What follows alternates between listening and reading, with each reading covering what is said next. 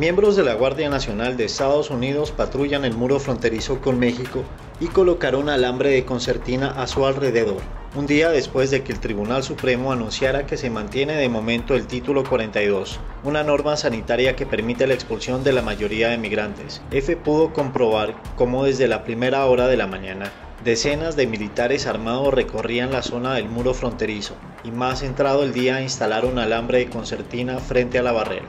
A petición del gobernador de Texas, Greg Abbott, más de 400 miembros de la Guardia Nacional fueron desplegados en El Paso, que limita con Ciudad Juárez, en México, según informó el Departamento Militar de Texas en un comunicado. El desplazamiento de equipos y soldados a la ciudad fronteriza forman parte del esfuerzo del gobernador por reforzar la seguridad fronteriza ante el aumento de cruces ilegales en las últimas semanas. Al ser preguntado si la llegada de la Guardia Nacional responde a una petición por parte del Paso al gobierno estatal, el teniente alcalde de la ciudad, Mario de Agostino, dijo a EFE que han hecho varias solicitudes de apoyo, incluyendo seguridad. A la administración de Greg Abbott, de Agostino añadió que la instalación de esta malla forma parte de un entrenamiento de la Guardia Nacional.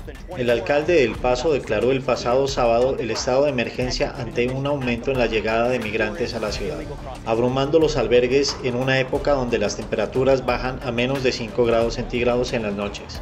Decenas de migrantes se han visto forzados a pernoctar en las calles del Paso debido a que los refugios de la ciudad no tienen suficiente capacidad para alojarlos. El título 42, impuesto por el gobierno del expresidente Donald Trump como norma sanitaria durante la pandemia y mantenido por la actual administración, permite la devolución inmediata de la mayor parte de inmigrantes que buscan solicitar asilo en la frontera. A mediados de noviembre, un juez federal en Washington, D.C. ordenó al gobierno de Estados Unidos poner fin al título 42 en menos de 24 horas tenemos a los soldados aquí en el terreno y ejecutando una misión en la frontera, asegurando un sitio de cruce ilegal, dijo Sturr, jefe de misión en la frontera del Paso.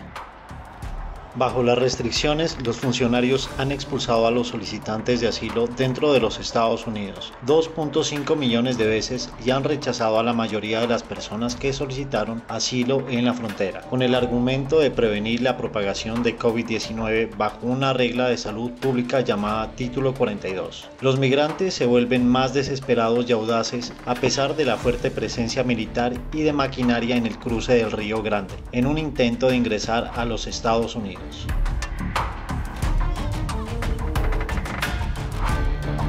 Somos más que noticias. Más que noticias. Más que entretenimiento. Más que entretenimiento. Más que deportes. Más que deportes.